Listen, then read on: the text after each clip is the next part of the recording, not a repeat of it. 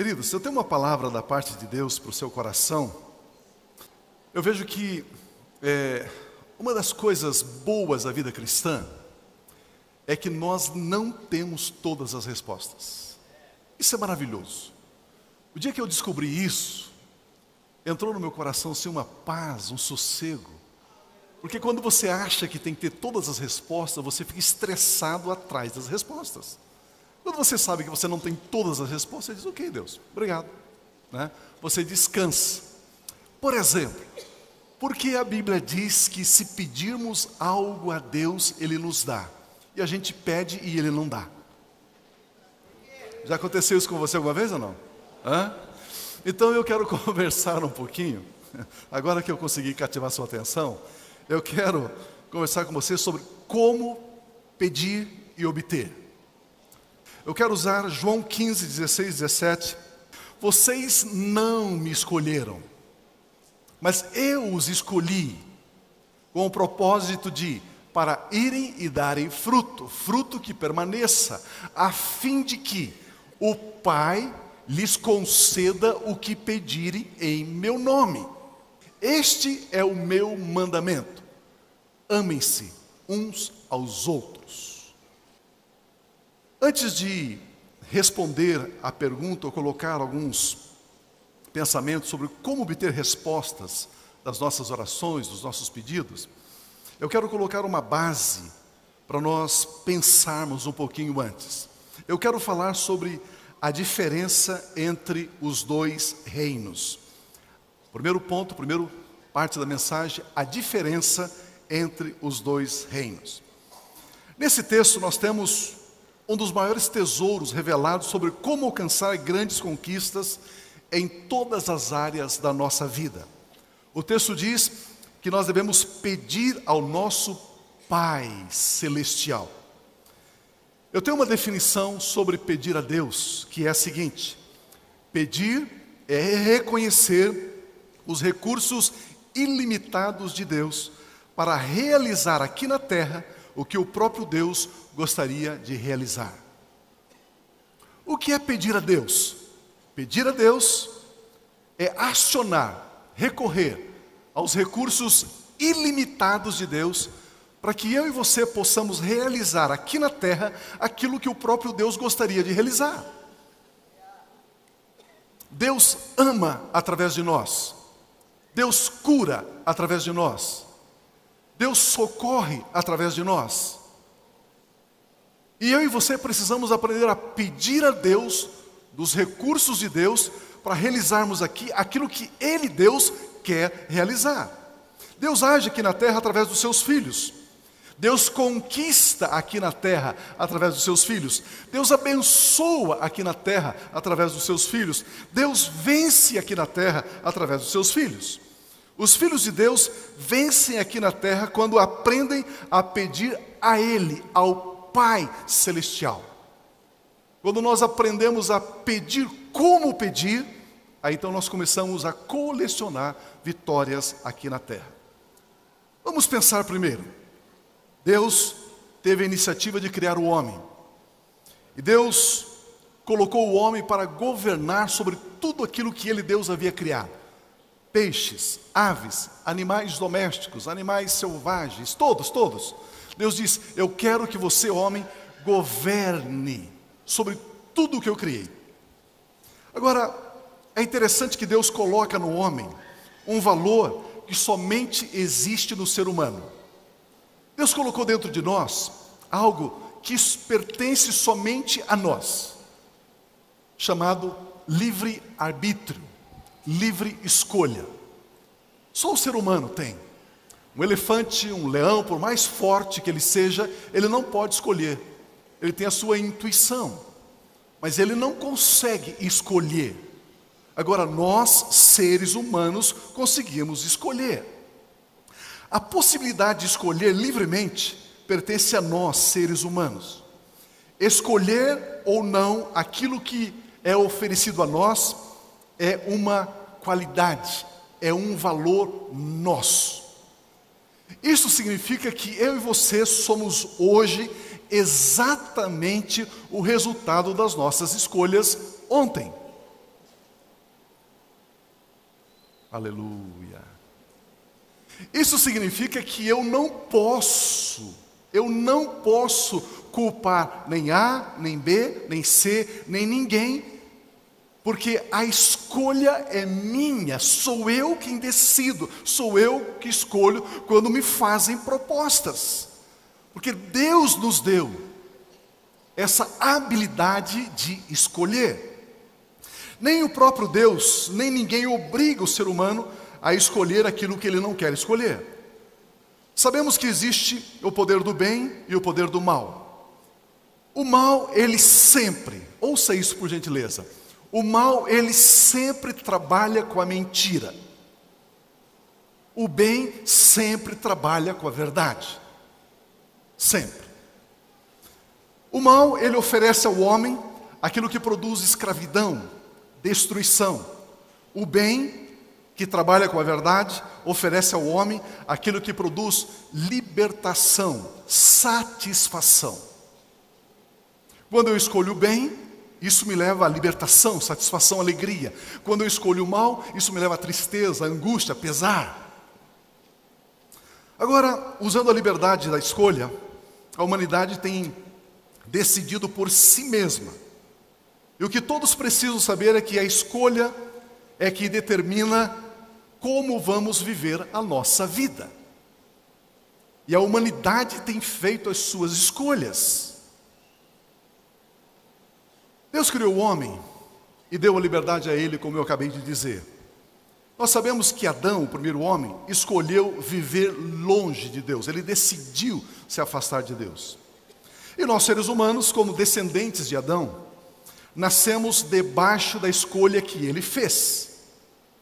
Cada um de nós nascemos longe de Deus. Pio, mas o meu avô era evangélico, meu pai era evangélico, eu nasci no lar evangélico, mas você nasceu longe de Deus. Cada ser humano, ao nascer, ele nasce longe de Deus, porque Adão escolheu viver longe de Deus, e nós, como descendência de Adão, nascemos longe de Deus. Por exemplo, imagina se os seus pais quando a sua mãe estava grávida de você, se os seus pais tivessem decidido mudar para um outro país, você teria nascido naquele país. Se os seus pais escolhessem morar no Uruguai, você teria nascido no Uruguai. Se eles escolhessem mudar para o Canadá, você teria nascido no Canadá. Por quê? Porque eles escolheram e você é fruto da escolha dos seus pais.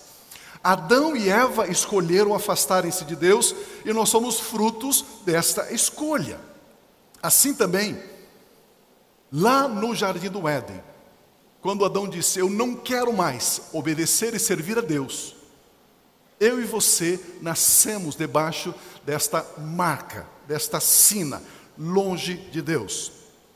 Agora, ouça isso: o sofrimento da humanidade não tem nada a ver com Deus. Alguém já perguntou para você, mas você diz que é evangélico, você diz que é cristão, e como é que você me explica uma criança com câncer, uma mãe sofrendo, vendo a filho, o filho nas drogas? Como é que você explica as guerras entre as nações, os conflitos, pessoas padecendo, sofrendo? Cadê Deus? Por que Deus não faz nada? Alguém já perguntou isso para você alguma vez? Deus não tem nada a ver com isso. Isso foi a escolha que Adão e Eva fizeram. Viverem longe de Deus. É consequência da escolha dos nossos pais lá no Éden. E a humanidade então nasce afastada de Deus, longe de Deus. Agora, a Bíblia diz que Deus é rico em misericórdia, Deus é rico em amor.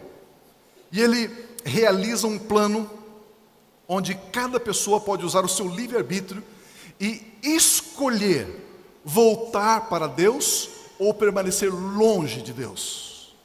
Lembra que eu disse que Deus deu a mim e a você um tesouro, uma joia preciosa chamada livre-arbítrio, livre escolha?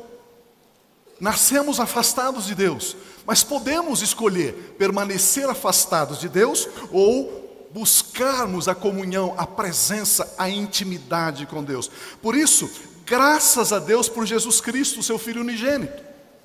Que se fez carne, habitou entre nós, cheio de graça, cheio de verdade, cheio de poder.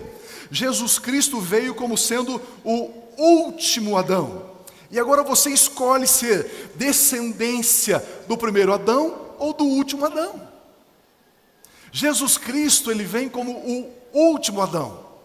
Por isso, queridos, cristianismo não é uma religião. Cristianismo não é uma religião.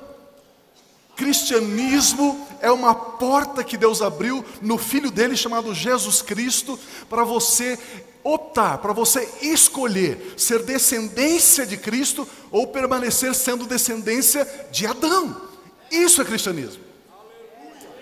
Vocês estão aqui ainda? Amém?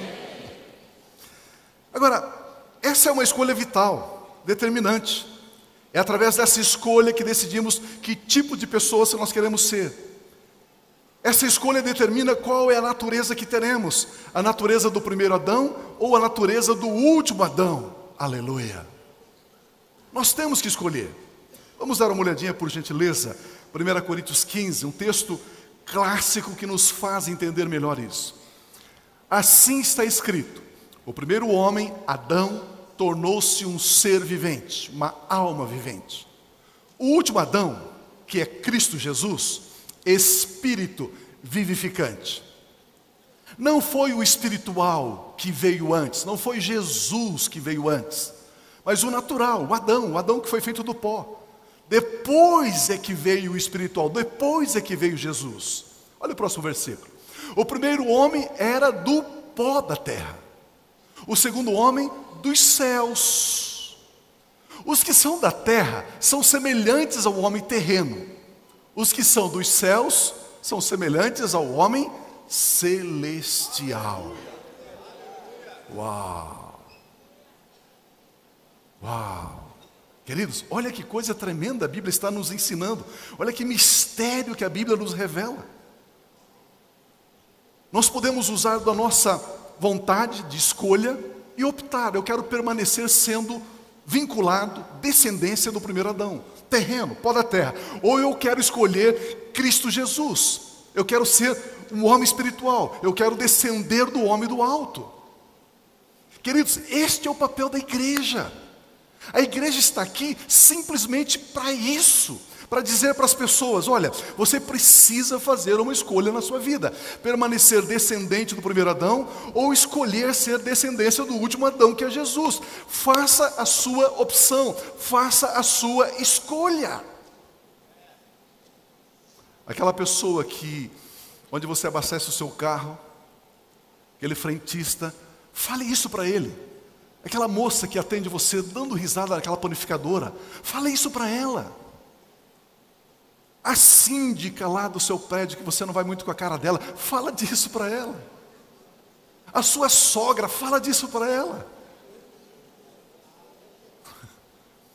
Queridos, esse é o nosso papel, dizer às pessoas que essa verdade está estabelecida e que nós precisamos fazer uma escolha. Meu Deus, Aqui, a Bíblia nos revela então a existência de dois reinos. Por gentileza, diga comigo assim: dois reinos. Mais uma vez, dois reinos. dois reinos. O reino do primeiro Adão, nas trevas, afastado de Deus, e o reino do último Adão, luz, íntimo, linkado com Deus. Um reino de trevas inaugurado pelo primeiro homem, pelo primeiro Adão. Um reino de luz inaugurado pelo último Adão. Como eu disse, todos nós nascemos naturalmente no primeiro reino, no reino de trevas, longe de Deus. Mas não necessitamos viver sempre nas trevas.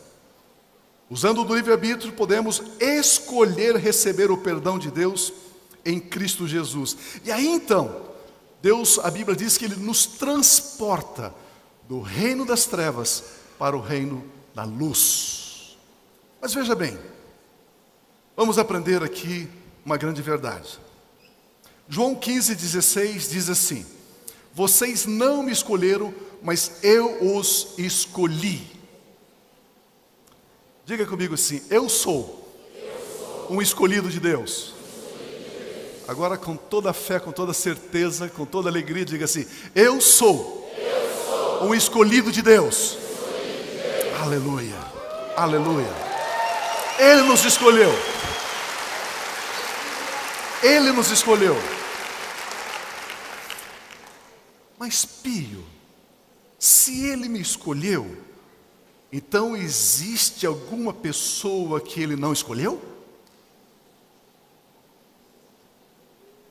Para responder essa pergunta, são três anos numa faculdade de teologia.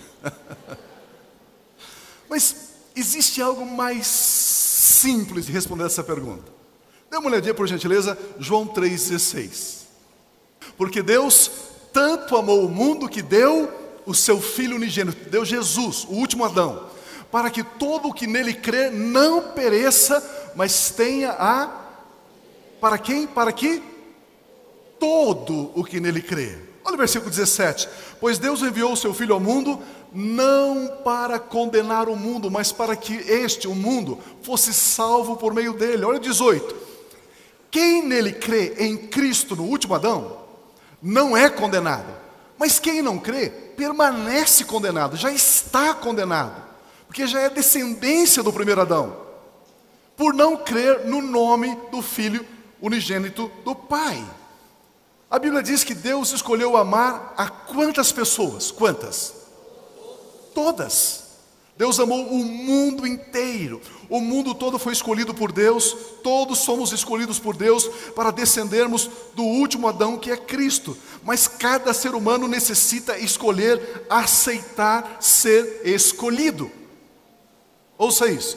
O que cada ser humano necessita fazer é escolher aceitar o amor de Deus. Deus amou o mundo de tal maneira, mas se eu rejeito, se eu não escolho aceitar o amor, receber o amor, eu permaneço longe de Deus. Mas se eu escolho aceitar o amor de Deus, eu sou vinculado, eu sou ligado, eu sou feito descendência do último Adão, que é Cristo Jesus. Está claro? O texto diz, versículo 18: Quem nele crê não é condenado. Mas quem não crer em Jesus permanece na condenação, já está condenado. Deus amou o mundo todo. Quantos não serão condenados? Quantos? Quantos que não serão condenados? Aqueles que creem em Jesus. Os que não creem em Jesus já estão condenados. Qual é o objetivo de Deus ter escolhido a mim e a você. Ele escolheu o mundo todo, graças a Deus, porque alguém um dia falou disso para mim, e eu escolhi aceitar o amor de Deus. Graças a Deus, um dia alguém falou para você, para o seu pai, para sua mãe, para o seu avô. E aí nós escolhemos aceitar o amor de Deus, saímos da condenação, entramos para a vida eterna. Agora, ele ama a todos, ele escolheu a todos, somente agora aqueles que escolhem ser escolhidos tornam-se filhos dele. Qual o objetivo então de Deus ter nos escolhido? João 15, 16. Vocês não me escolheram, mas eu os escolhi para irem e darem fruto, fruto que permaneça, a fim de que o Pai conceda a vocês o que pedirem em meu nome. Uma outra versão diz: a fim de que tudo quanto em meu nome pedirdes ao Pai, Ele vos conceda. Agora nós estamos entrando no tema. Todos nós nascemos debaixo do primeiro Adão. Deus amou o mundo todo.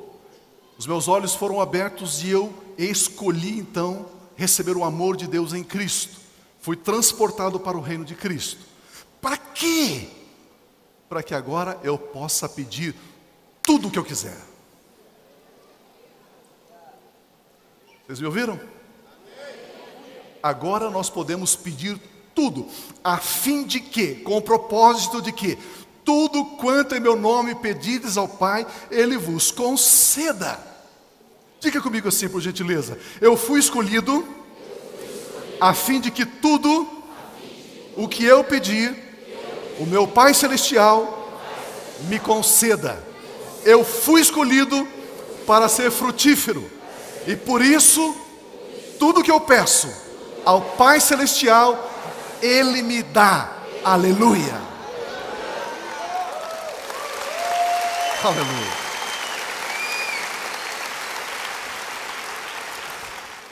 Agora, nós pedimos tudo por causa de Jesus. Pelos méritos de Jesus. O texto não diz tudo quanto pagardes ao vosso Pai Celestial. Diz pagar? Diz pedir. Pedir. No reino do primeiro Adão, tudo que o homem consegue, ele consegue pagando. Você sai da sua casa, tudo que você intentar, você tem que pagar, não é verdade? Você ligou o teu carro, você está pagando, pagando a gasolina. Se você vai de ônibus, tem que pagar o ônibus. Vai de bicicleta, vai ter que pagar o pneu da bicicleta que está gastando. Vai almoçar no restaurante, você vai pagar. No reino do primeiro Adão, no reino material, tudo que nós intentarmos acessar tem que ser pago. Ao entrarmos no reino do último Adão, que é Cristo Jesus, nós achamos que tudo o que pedimos a Deus Pai também deve ser pago. Pedir de graça, sim, Ele vai me dar? É, ah, eu não acredito, não. Eu acho que a gente tem que pagar de alguma forma. Por essa razão, nós necessitamos compreender que fruto aqui não é pagar a Deus, fruto aqui é gratidão. Muitos filhos de Deus têm oferecido a Deus jejum como moeda de troca, oração como moeda de troca, trabalho voluntário na igreja como moeda de troca. E aí, ó, eu jejuo três dias, sou um apacentador, e aí me acontece alguma coisa negativa, ruim, mas por que Deus? E por que, que nós ficamos assim? Por que Deus? Porque eu acho que eu tenho créditos diante de Deus. Então, no reino de Deus, não é aquilo que eu pagar para Deus, mas aquilo que eu pedir para Deus. Mas como eu e você nascemos no reino das trevas, a nossa mentalidade, a nossa cultura é do reino das trevas, quando fomos transformados para o reino de Deus, transportados para o reino de Deus, nós ainda temos na nossa memória condutas, comportamentos e jeitinhos das trevas aqui no reino da luz. Hum.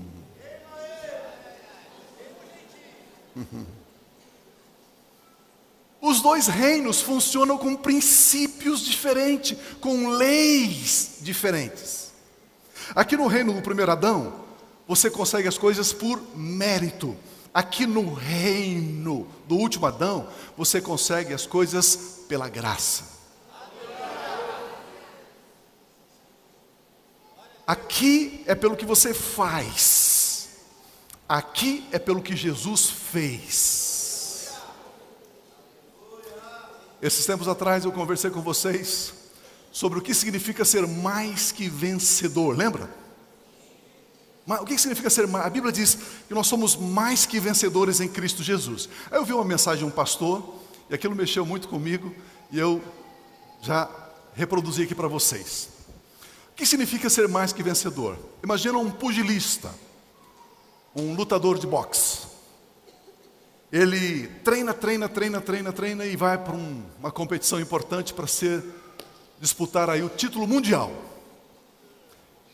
A esposa não gosta de acompanhá-lo até o ginásio, ela fica muito nervosa, tá? ela fica em casa, né?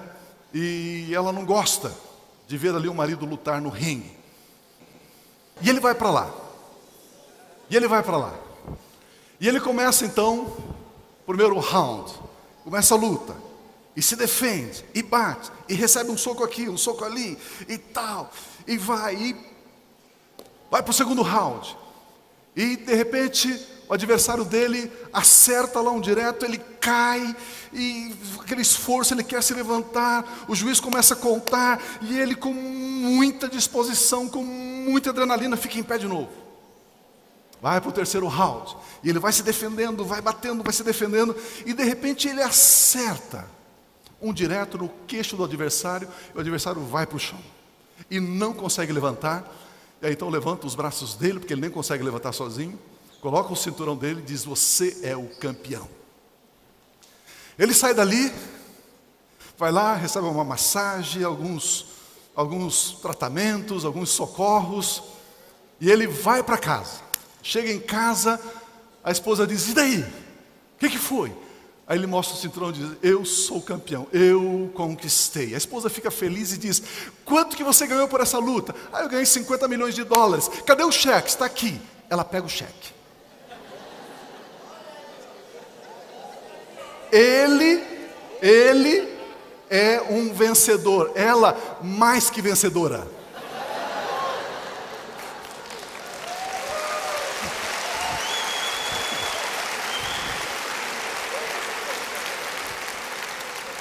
Ela mais que vencedora, porque ela alcançou, ela conquistou sem ter que lutar. Mas aí significa que aqui no reino da luz, quem sofreu os cravos nas mãos foi Jesus, a coroa de espinho foi Jesus, os açoites foi Jesus, as dores foi Jesus, as agruras foi Jesus. Ele é vencedor e eu sou mais que vencedor, porque ele me deu isso.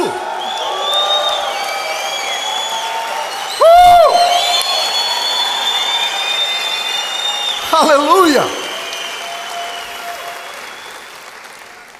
Por isso que nós somos mais que vencedores, porque nós não lutamos e recebemos as medalhas no peito. Recebemos os troféus daquilo que ele fez. E isto é o reino da luz. Graças a Deus, aleluia. Agora, ainda nós não temos tudo. Porque nós não sabemos como operar no reino da luz. E aí vem o segundo ponto e o último. Por que não recebemos tudo? A pergunta mais importante antes de você fazer qualquer pedido a Deus é: o que é que eu mais quero? Antes de você fazer qualquer pedido para Deus, qualquer pedido, você precisa responder essa pergunta: o que é que eu mais quero?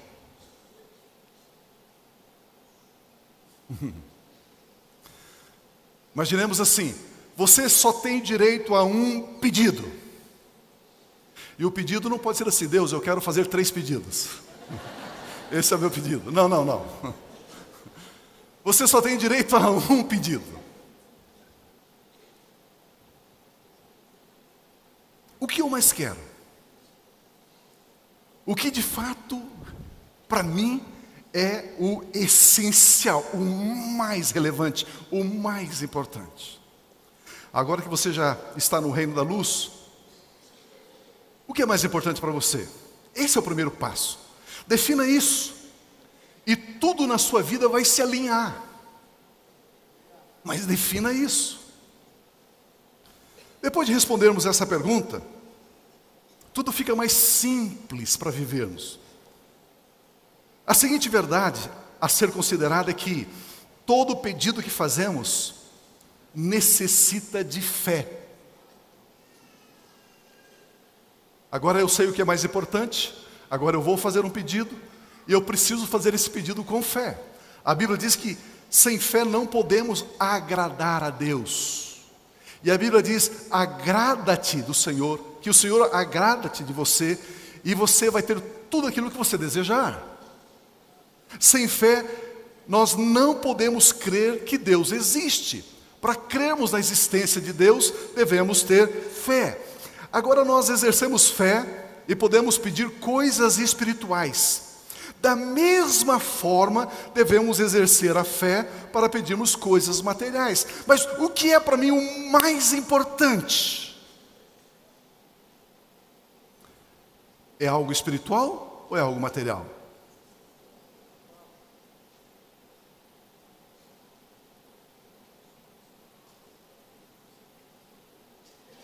É mais importante?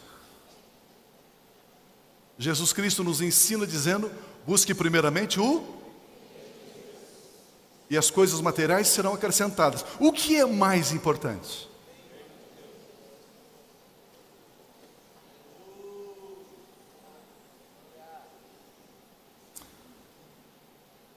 Por que nós não recebemos tudo? Vamos à primeira lição. Tiago 4:2. Vocês cobiçam coisas. Não o reino de Deus, coisas. E não as têm. Matam, invejam, mas não conseguem obter o que desejam. Vocês vivem a lutar e a fazer guerras. Não têm porque não pedem. Debaixo da influência aqui do primeiro Adão, você se lembra da história então do primeiro Adão, do reino das trevas? Lembra? Okay? Então, debaixo da influência do primeiro Adão, o ser humano busca conseguir as coisas de duas maneiras, diz esse texto. Todas as pessoas que estão debaixo ainda da descendência do primeiro Adão, todas as pessoas, todas, pode ser um analfabeto até um pós-doutorado, todas as pessoas, tudo que elas fazem, elas fazem por cobiça ou por inveja. Tudo que elas fazem, por cobiça ou por inveja. É isso que norteia o reino dos descendentes de Adão. Lembra que nós estamos falando aqui sobre dois reinos? Lembra? Lembra que a nossa plataforma aqui é pisar sobre o conceito e entendimento dos dois reinos? Todos os que são descendência do primeiro Adão, eles trabalham através da cobiça e através da inveja. Guarde isso com você, por gentileza. Guarde isso. O combustível que move as pessoas que estão debaixo do reino do primeiro Adão é a cobiça e a inveja.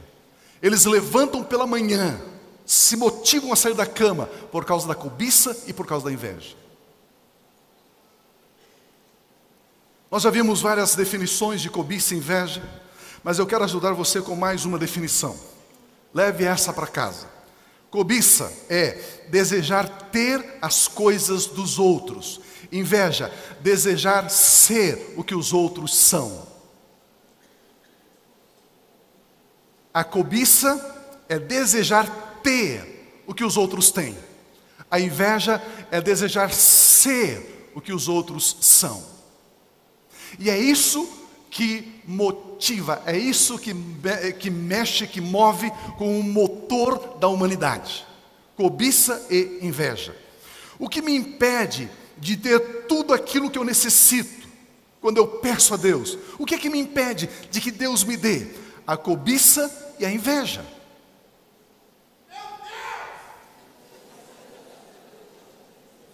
É o que me impede de Deus responder às minhas orações.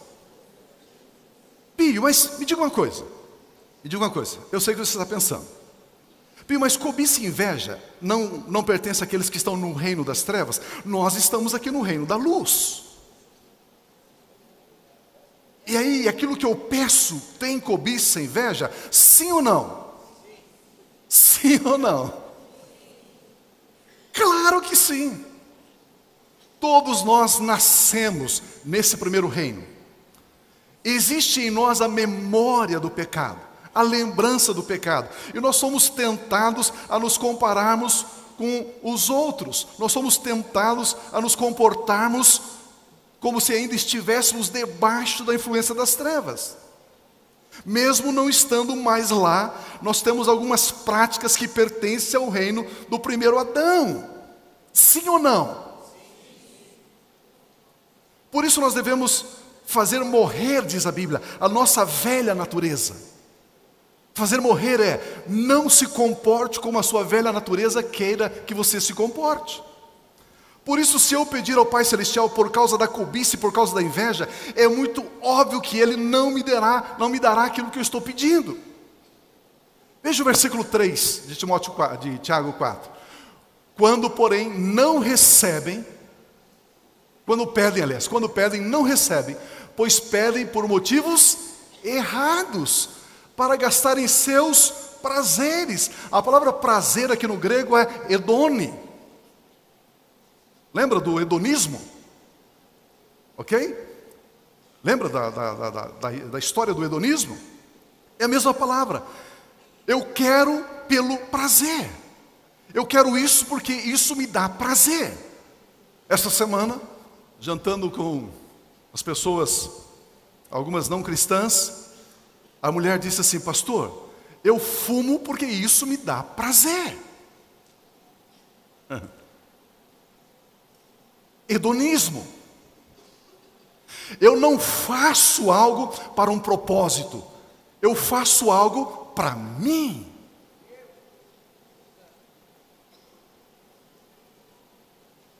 Esse é o hedonismo. É diferente de querer algo, pedir algo para Deus para um propósito. Quando eu peço algo para Deus para minha autossatisfação, para o meu alto prazer. Pedidos que fazemos com conteúdo de cobiça e inveja têm a sua origem horizontal. Pedidos que fazemos ao Pai Celestial têm a sua origem vertical. Quando eu faço pedidos, ainda debaixo da influência do reino das trevas, mesmo estando aqui no reino da luz, e, a motivação é egoísmo ou inveja, é que eu olho para a direita, olho para a esquerda, olho para frente, olho para trás, e eu me comparo com as pessoas, e aí eu peço ao Pai Celestial. Mas a Bíblia diz: você já ressuscitou com Cristo? Já. Então pense nas coisas do alto e não nas que são da terra. Isso significa que eu devo olhar para o Pai e pedir ao Pai, porque tudo aquilo que eu preciso para o propósito dele na minha vida está com ele e não com as pessoas. Então eu não tenho que pedir aquilo que está na mão das pessoas, eu tenho que pedir aquilo que está nas mãos do meu Pai Celestial. Deixa eu avançar mais um pouquinho aqui. Nós já estudamos isso aqui, mas a chave para se ter tudo é pedir ao Pai Celestial. Devemos pedir ao Pai aquilo que é nosso, aquilo que está com Ele. O que Deus tem para você é seu e está com Deus, não está com a pessoa ao seu lado. Aquilo que Deus tem para você, aquilo que Deus tem para você, as coisas que Deus tem para você, essas coisas não estão com as pessoas. O que Deus tem para você está com Deus. Por isso você não pede baseado no que alguém tem ou no que alguém é. Você pede baseado na vontade de Deus para a sua vida. Vocês estão entendendo? A parábola do filho pródigo, o filho mais velho, aliás, o filho mais novo, diz assim, Lucas 15, 12. Jesus continuou: Um homem tinha dois filhos, o mais novo disse ao pai: Pai, quero o mais novo disse ao pai: Pai, quero a minha parte da herança. Ele não pediu a parte do irmão dele, ele pediu a parte dele. E por ele ter pedido a parte dele, o que, que o texto diz? Assim, o pai repartiu a sua propriedade entre eles. Por que, que o pai deu aquilo que o filho pediu? Porque o filho pediu aquilo que era dele, não aquilo que era do irmão. Imaginemos se Albert Einstein quisesse ser um Beethoven. Não, eu vou ser um Beethoven. Imagina se. Imagina se Beethoven dissesse: Eu quero ser um Leonardo da Vinci. Imagina se o apóstolo Paulo dissesse: Ah, eu quero ser um apóstolo Pedro. A primeira lição para você obter aquilo que Deus tem para você a primeira lição é: queira ser quem você é.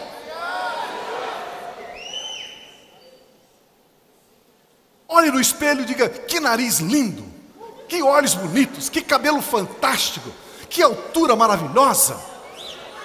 Ame a sua altura, ame a cor da sua pele, ame a cor do seu cabelo, ame a cor dos seus dentes, ame a cor dos seus olhos. Queira ser você.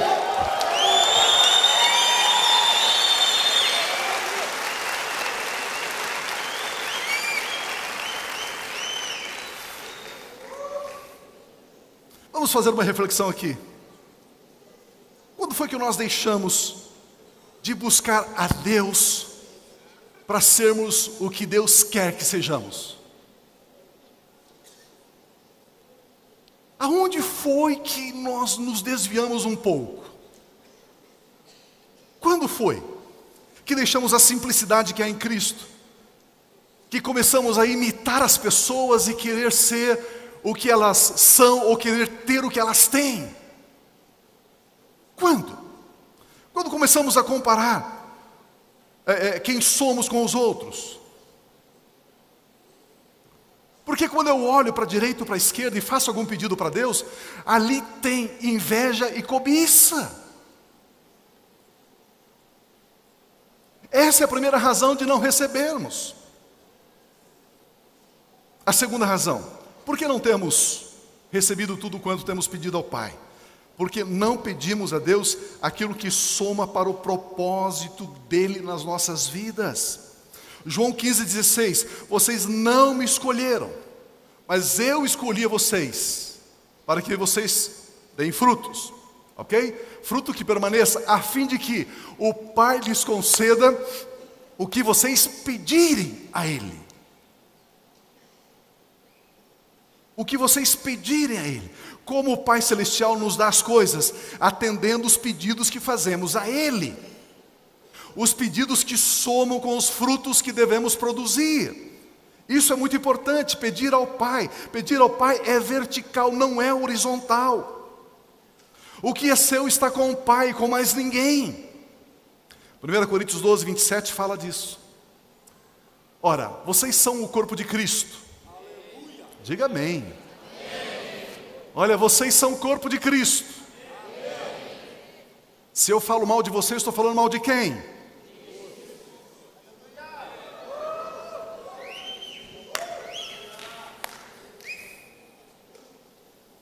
Ora, vocês são corpo de Cristo.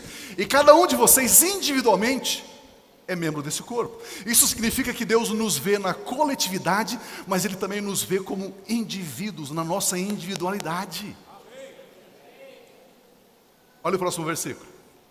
Assim na igreja, Deus estabeleceu primeiramente apóstolos, em segundo lugar profetas, em terceiro lugar mestres, depois os que realizam milagres, os que têm dons de curar, os que têm dons de prestar ajuda, os que têm dons de administração, os que falam diversas línguas. São todos apóstolos, sim ou não? Embora a gente tenha essa moda hoje em dia, né? Todo mundo é apóstolo, né? Mas são todos apóstolos? Não. Não, claro que não. São todos profetas? Não. São todos mestres? Não. Tem todos dom de realizar milagres? Não. Tem todos os dons de curar? Não. Falam todos em línguas, todos interpretam? Não. O que esse texto está dizendo? O texto está dizendo que você é você. E o que você necessita está com Deus. E você tem que pedir para Deus aquilo que é seu, que está nas mãos dele, para que você desempenhe o propósito de Deus aqui na terra. Se você alinhar essas coisas, o que você pedir, Ele vai lhe dar. Meu Deus. O sistema do mundo funciona de acordo com o primeiro Adão, que é querer o que os outros têm. O sistema do céu funciona de acordo com o último Adão, que é pedir ao Pai para que eu seja o que o Pai quer que eu seja.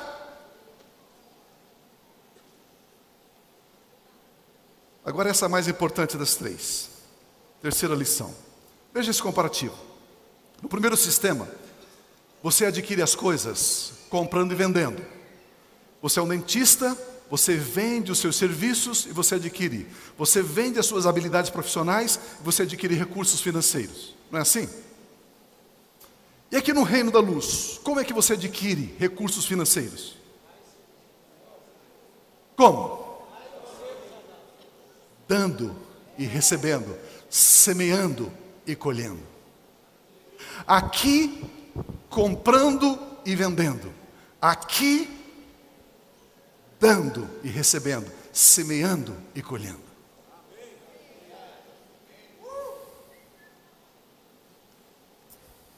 Não fique bravo comigo, é Bíblia.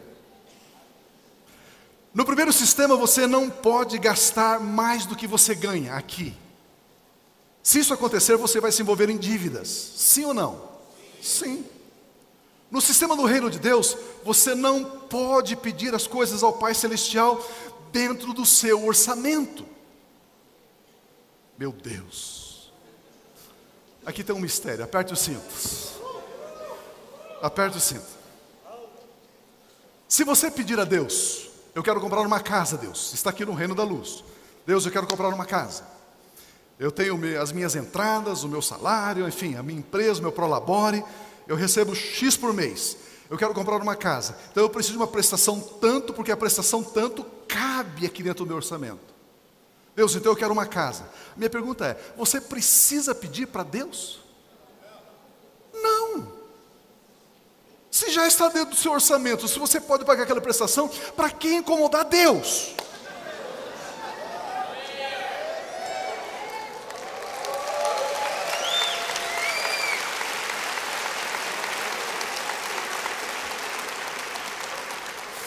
Aqui você tem que pedir para Deus uma casa cuja prestação esteja acima das suas entradas, para que Ele, Deus, possa fazer o um milagre.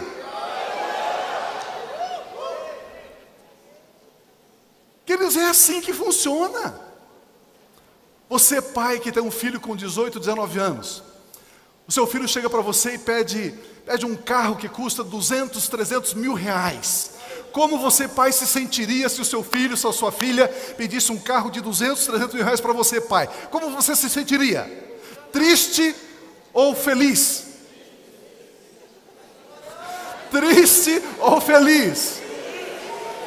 Triste ou feliz? Feliz! Feliz! Porque o meu filho está dizendo: o meu pai pode, o meu pai consegue, o meu pai tem recursos.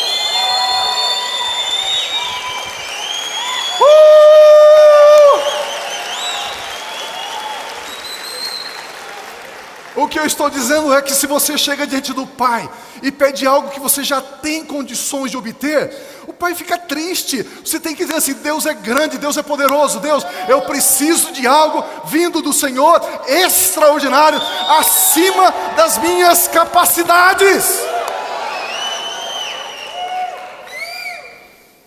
Dê uma chance para Deus se mostrar Deus na sua vida. Oh!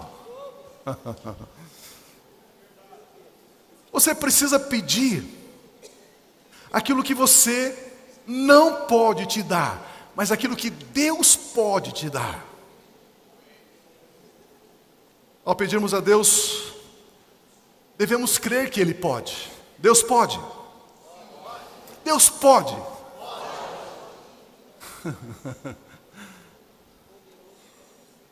Uau! Significa então que você precisa aprender a começar a pedir algo que você não pode, mas algo que Deus pode. Muitas vezes Deus não nos dá porque o que estamos pedindo é tão pouco que nós mesmos podemos prover para nós.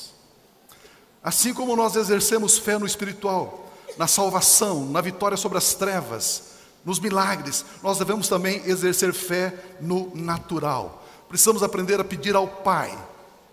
Pedir ao Pai é pedir o que somente Ele pode nos dar. Olha o que diz o Romanos 8,32: aquele que não poupou, a palavra poupar é guardar para si Aquele que não guardou para si o seu próprio filho Jesus, mas o entregou por todos nós, o deu por todos nós, porventura, como não nos dará, juntamente com Jesus, e de graça, quantas coisas?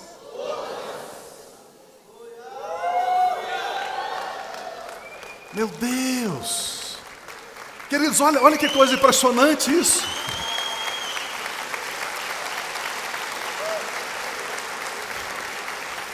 Eu não sei se você consegue, eu não sei se você consegue ver aqui a mente de Deus sendo revelada. Esse texto revela como Deus pensa.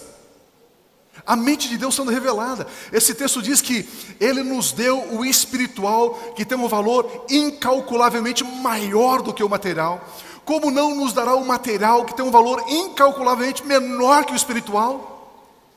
Queridos, para Jesus vir na terra, trono nos céus ficou vazio. O Deus Criador de todas as coisas se limitou a um corpo humano. Nasceu de uma mulher virgem, de Maria. Foi amamentado, foi cuidado. Ele engatinhou. Ele aprendeu os primeiros passos. Ele aprendeu a falar gugu, gugu, dadá, dadá, gugu, como qualquer criança. Queridos, se Deus colocou o filho dele nesta situação, nestas limitações, nesse restringimento, como é que ele não pode nos dar todas as demais coisas? Meu Deus. Tudo isso para que você seja o melhor no seu ramo.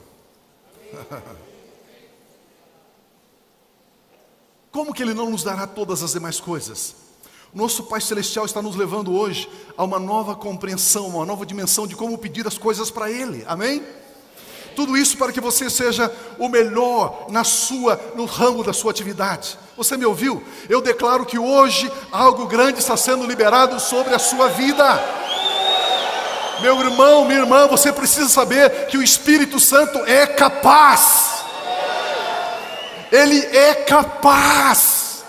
Ele toca no coração da sua esposa e a transforma. Ele toca no coração do seu esposo e transforma. No coração dos seus filhos e transforma. Ele é capaz. Meu Deus.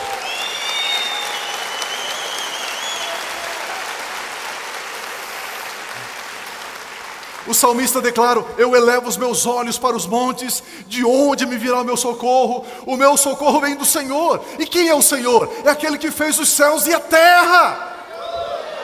Ele é meu Pai celestial, Ele é meu Pai celestial, Ele é capaz de transformar um simples pastor de ovelhas como Davi em um rei, em um guerreiro, em um conquistador, em um homem segundo o coração dele. Ele é capaz de transformar um pescador como Pedro num homem influente para trazer a mensagem da salvação em toda a sua nação. Ele é capaz de transformar um idoso como Abraão em um pai de multidões. Ele é capaz de transformar um sonhador como José, um rapaz não, não querido, não aceito nem na sua casa, transformou ele no homem mais importante da nação mais importante daqueles dias.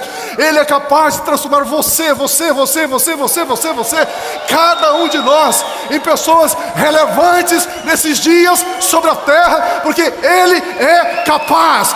E recebereis poder ao descer sobre você o Espírito Santo. O Espírito Santo já habita em você. Ele já te deu o poder. Você já tem a glória. Você já tem a glória. Você já tem a glória. Você já tem a glória. Você já tem o poder. Ele é capaz.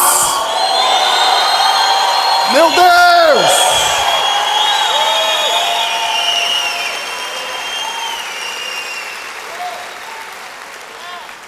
Poder dele está disponível.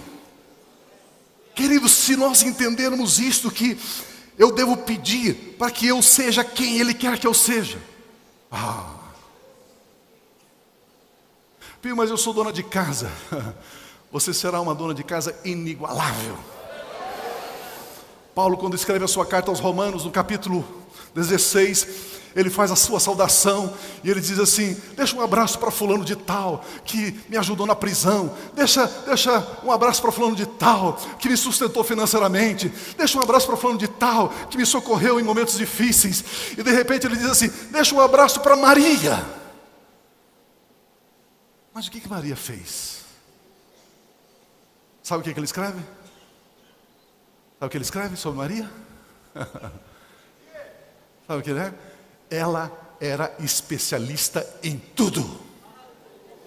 Uma simples dona de casa, cujo nome está nas Escrituras, porque aquilo que vinha às mãos dela para fazer, ela fazia de todo o coração, como para o Senhor. Aleluia. Você pode ser o melhor comerciante dessa cidade, desse estado.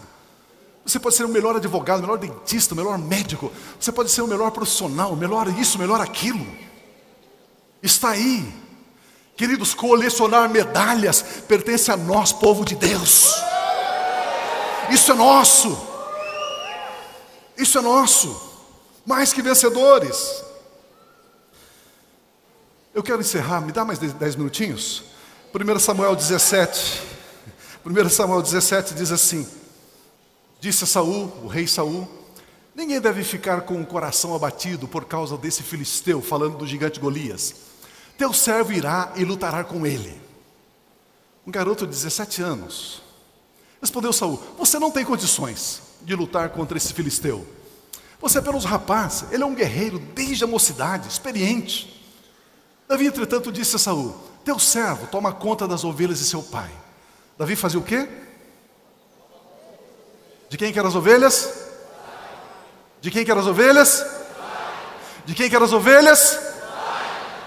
Você apacentador toma conta das ovelhas de quem? Você coordenador toma conta das ovelhas de quem? Elas não são tuas.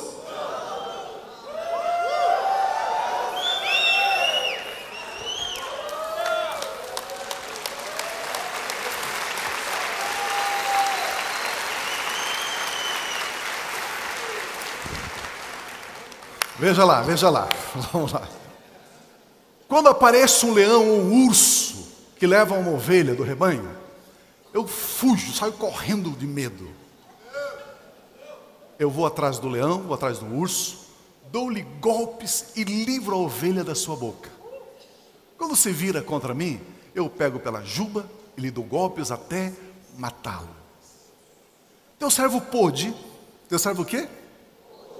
Matar um leão e um urso, esse filisteu incircunciso será como um deles, pois desafiou os exércitos dos Deus vivos. O Senhor me livrou das garras do leão e das garras do urso, me livrará das mãos desse filisteu. Diante disso, Saul disse a Davi: Vá, e que o Senhor esteja com você. Davi enfrentou o leão e o urso para proteger algo que era dele não. Ele não enfrentou o leão e o urso para ter. Ele enfrentou o leão e o urso porque ele era pastor. Não para ter ovelhas. Meu Deus do céu, que coisa tremenda. Ele era um pastor. Ele não queria ter um rebanho para si. Davi agiu fora da sua própria capacidade. Se Deus não tivesse agido a favor de Davi, Davi teria sido destroçado por esses animais. Tudo o que pedirdes ao Pai Celestial, Ele vos concederá. O que Deus concedeu a Davi? A vitória sobre o urso, sobre o leão, sobre Golias. Concedeu uma força sobrenatural. Davi pediu essa vitória porque cobiçava algo, invejava algo de alguém? Não! Meu Deus, não! Olha em 2 Samuel 8, 6. Em seguida estabeleceu Davi guarnições militares no reino dos arameus de Damasco, sujeitando-os a lhe pagar impostos, e o Senhor dava vitória a Davi em todos os lugares onde ia. Olha o versículo seguinte, 14.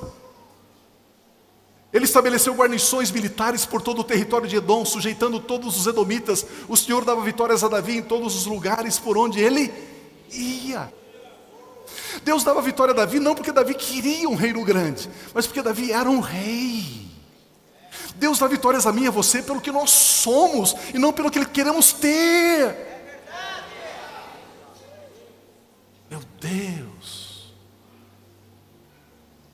Queridos, esse terreno, esse templo, esse estacionamento, a parte ali na frente que nós vamos construir daqui a pouco, o administrativo, nós não queremos ser a maior igreja, nós não queremos ser isso, não queremos, não quero ter nada, irmãos. Quero fazer a vontade de Deus, só isso. Quero fazer aquilo que Deus pediu para eu fazer. Se não fosse a graça dele, o amor dele, a misericórdia dele, nós teríamos domingo após domingo palavra revelada nesse púlpito salvação. Nós estamos aí chegando a quase mil novas conversões este ano, irmãos. Não é tremendo o que Deus está fazendo?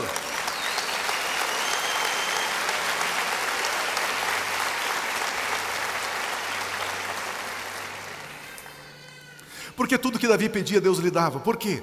Porque Davi pedia a Deus, não para o seu próprio prazer e deleite. Ele não pedia para ter. Davi pedia porque Davi era.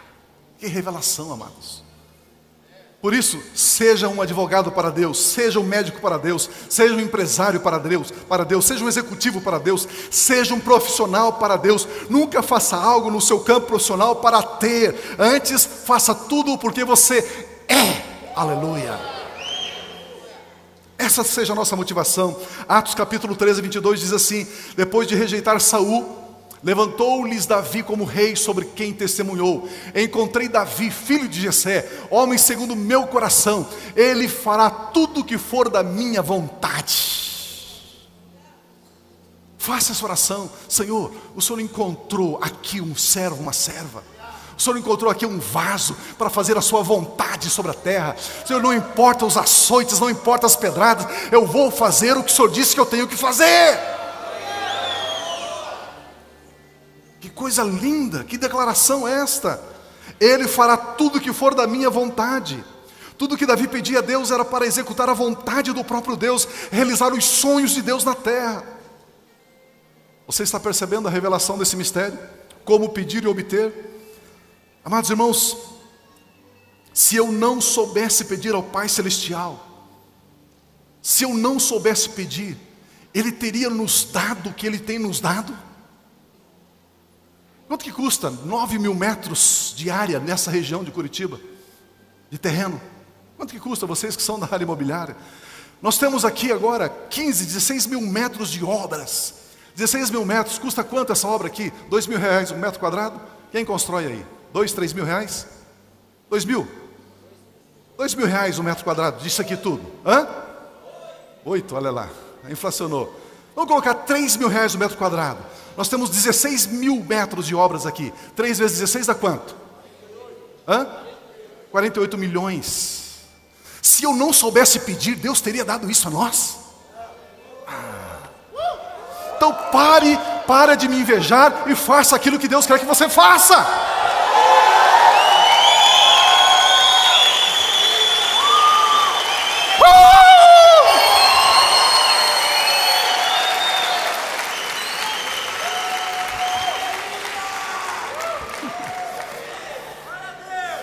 Queridos, eu sempre peço a Deus aquilo que eu não tenho, eu sempre peço a Deus aquilo que eu não posso, eu sempre peço a Deus aquilo que eu não sei.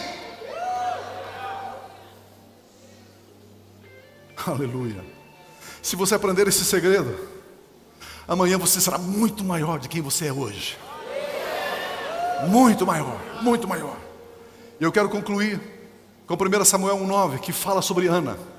Certa vez, quando terminou de comer e beber lá em Siló, na cidade de Siló, estando o sacerdote Eli sentado junto à cadeira, junto à entrada do santuário do Senhor, Ana se levantou e com a alma amargurada chorou muito e orou ao Senhor e fez um voto dizendo: Ó oh, Senhor dos exércitos, se tu deres atenção à humilhação da tua serva, te lembrares de mim e não te esqueceres de tua serva, mas lhe deres um pedido aqui, tem um pedido aqui, mas lhe deres um filho, então eu o dedicarei ao Senhor por todos os dias da sua vida, e o seu cabelo e a sua barba nunca serão cortados.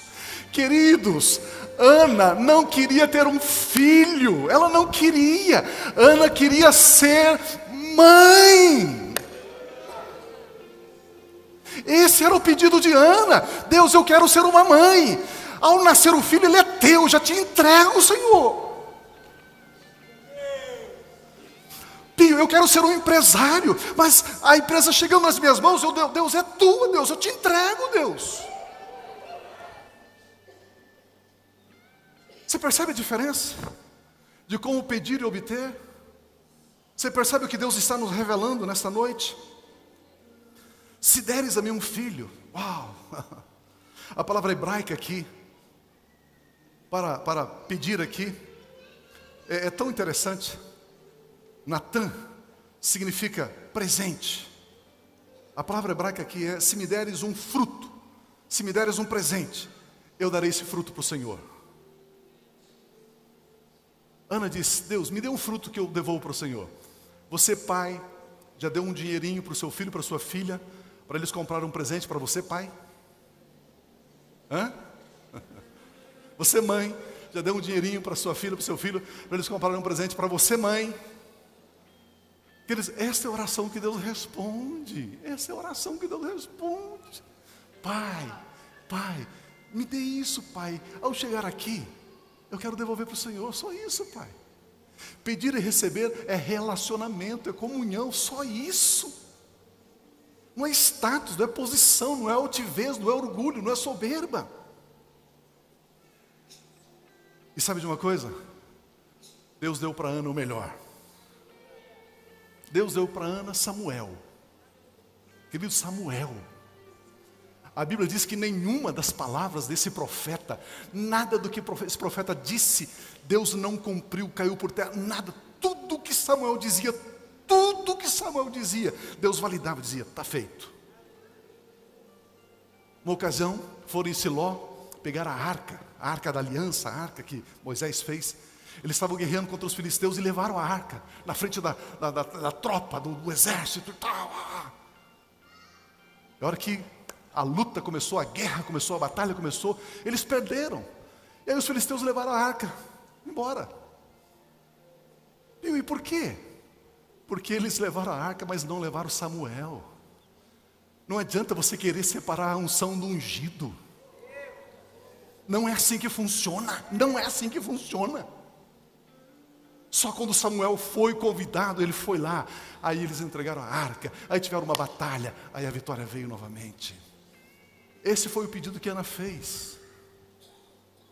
Para que ele, Samuel, pudesse ser relevante na vida da nação, um instrumento nas mãos de Deus.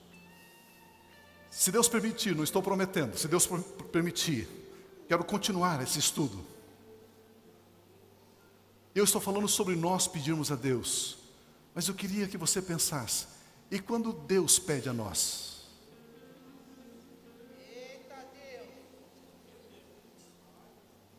Ah? Estamos aprendendo como pedir para Deus. E quando Deus pede para nós?